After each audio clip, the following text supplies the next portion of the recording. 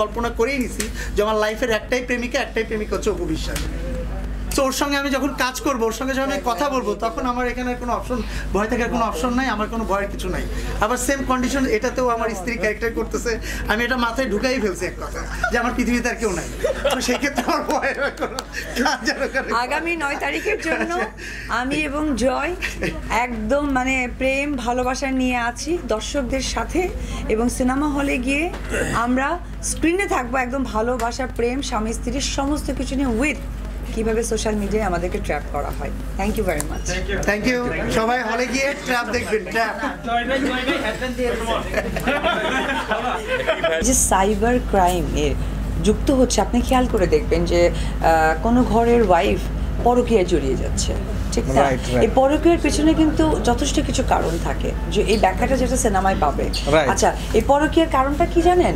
দুটো ইস্যুস একটা হচ্ছে হাজব্যান্ডও ব্যস্ত ওয়াইফটা যখন সারাটা দিন বাসায় থাকে বলা মুখে বলা সহজ এটা আমি বাসায় থাকছি কোনো প্রবলেম নাই। বাট এটা কিন্তু আসলেই কঠিন।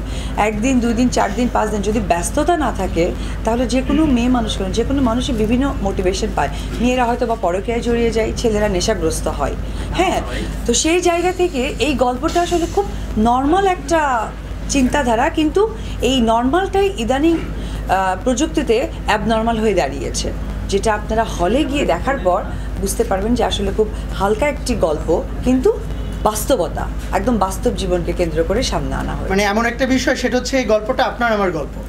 আপনারা যারা ছবিটা দেখবেন এর এইটি পার্সেন্ট লোকের ভিতরে দেখা গেছে অনেকেই স্বীকার করতে চায় না তার ফ্যামিলিতে কী ধরনের প্রবলেম ক্রিয়েট হচ্ছে বা তার বোন কী ধরনের প্রবলেম ক্রিয়েট করছে বা তার ভাইকে কী ধরনের প্রবলেম ক্রিয়েট করছে।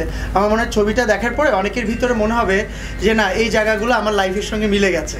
এই জায়গাগুলো আমার ফ্যামিলির সঙ্গে মিলে গেছে বা আমার বন্ধুর সঙ্গে মিলে গেছে। এরকম সহজ একটা গল্প এবং অনেক বেশি মেসেজফুল একটা গল্প এখানে।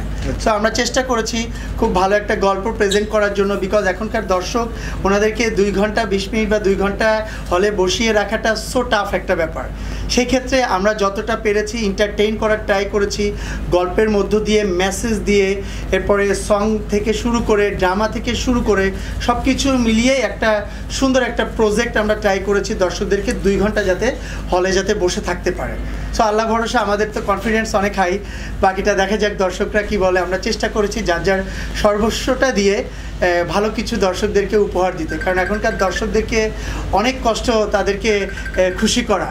সো আমরা চাই ইনশাল্লাহ আমরা খুশি করতে পারব। আপনারা কষ্ট করে বাংলা ছবি দেখার উদ্দেশ্য করে বাংলা ছবি দেখার জন্য হলে গিয়ে বাংলা ছবিটা দেখবেন। এটা আপনাদের কাছে আমাদের অনুরোধ। এটা ইন্ডাস্ট্রিকে বাঁচানোর জন্য অনুরোধ। সো আর আপনার তো। হ্যাঁ, তো অনেক ভক্ত আপনারা আছেন। তারাও দেখবেন আমি এটুকু বলতে চাই জয়ের কথা সূত্র যে আমি আমার বাংলাদেশি দর্শকদের প্রতি সত্যিই কৃতজ্ঞতা। কারণ ইন্ডাস্ট্রি কিন্তু একদমই নিভু অবস্থায় চলে গিয়েছিল। তারা বিগত দুই বছর যে সাপোর্টটা দিয়েছে দর্শকদেরকে বলবে স্পেশালি আর স্পেশালি এখানে যারা ক্যামেরার পেছনে যে ভাইয়েরা বোনেরা আছেন আপনাদেরকে অনেকে হয়তো কটূক্তি করে কথা বলে বাট আমি মোটেও বলব না। কারণ আপনারা না থাকলে আমাদের প্রচারণার কোনো মূল্য থাকতো না। আর. প্রসার তাই? ও আচ্ছা সুনাম করছি তো বুঝতে হবে। আচ্ছা আমার কথা হচ্ছে প্রচারে প্রসার এটা আসলে একদমই অন্য কিছু বলার কারণ থাকে না। আর আপনারা যারা এখানে কষ্ট করে আসছেন আপনাদেরকে অনেক সময় হেও করে কথা বলে আমার খুব খারাপ লাগে। আমি ব্যাপারটা আসলে মাঝে মাঝে নিতে পারি না। কারণ এই প্রচারণা কিন্তু যদি হেও করে তো যে হেও করছে তার কেন নেই. তাই না? আপনাকে কেন আমরা ইনভাইট করছি? তো নিশ্চয়ই প্রচারণার মধ্য দিয়ে কিন্তু আমাদের সেই সাকসেস জায়গাটা যাচ্ছে। আর সাথে সাথে যুক্ত করব অবশ্যই আমাদের বাংলাদেশের সকল দর্শকদেরকে, যারা বাংলা ইন্ডাস্ট্রিকে সুন্দরভাবে আবার সামনে এগিয়ে নিয়ে যাচ্ছে। তো এই প্রত্যেকটা মানুষের ভালোবাসায় একটি চলচ্চিত্র আর একটি চলচ্চিত্রের সাথে কিন্তু শুধু আমরা আর্টিস্ট থাকি তা কিন্তু নয়, এই যে মিডিয়া কর্মী যারা আছেন ইউটিউব কর্মী যারা আছেন, তারাও কিন্তু এখানে যুক্ত থাকে। তো আমরা সকলেই মিলে এই চলচ্চিত্র জগৎকে এগিয়ে নিয়ে যাচ্ছি, সকলের সাপোর্ট দরকার।